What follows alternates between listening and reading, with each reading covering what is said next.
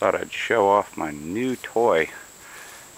Picked me up a 16 foot kayak today. This is a Craigslist special. I caught the ad after it was only a couple minutes old. I got a hold of the guy when it was about 28 minutes old. And I bought a Wilderness Systems Tarpon 160 multi-chine hull scupper holes, all that fun stuff. It's an older model. A little muddy from sitting outside. Plastic's in pretty good shape.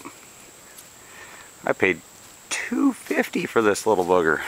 250 The current model goes for over $1,100 right now on Wilderness Systems website, so I think I got a heck of a deal. And this one's actually set up for fishing, so that's kind of cool now I can take friends with and not have to rent a kayak. And it is a sit on top so if somebody doesn't feel comfortable sitting in one even better. The nifty thing is is the guy that owned it before me I, I don't know if these are all if these come with it from the factory but they're those uh, ball mounts for accessories. And when I looked on the inside up in here in this dry hatch the whole hull is uh, hollow from front to back but um, he'd already installed a uh, transducer and he's got a little homemade battery box on the inside. So I'm going to have to go through it and probably waterproof a few things.